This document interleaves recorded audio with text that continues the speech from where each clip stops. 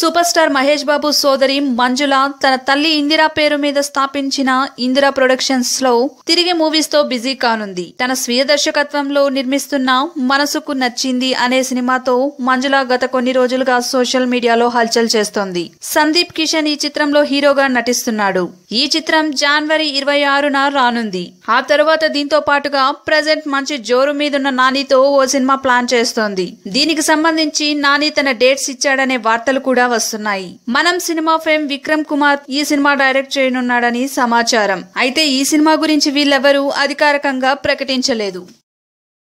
ఈ వీడియోని లైక్ చేయండి సబ్స్క్రైబ్ చేయడం మర్చిపోకండి.